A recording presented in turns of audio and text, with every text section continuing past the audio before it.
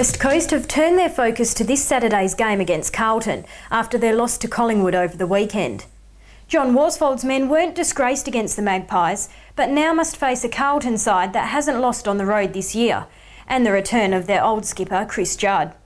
The Eagles face the tough task of controlling the Blues' small forwards, but Beau Waters says the team has a plan in place. Sometimes the yeah, obviously finals you're playing against sides that have had uh, successful years and, and, therefore they're going to have play, individual players that have had great games. But um, our, our big message all year has been about playing your role, about 22 contributors, and and, um, and I think with that, every, everyone's job just gets made so much easier. Speculation will swirl all week about the fitness of Dean Cox, who struggled with a back injury but says he's confident he'll play.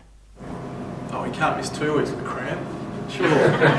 Come on, Nathan. He'll be fine. And the question everyone's asking will Daniel Kerr play? Look, Daniel knows his body really well. Um, he's, he's, super keen to play this week.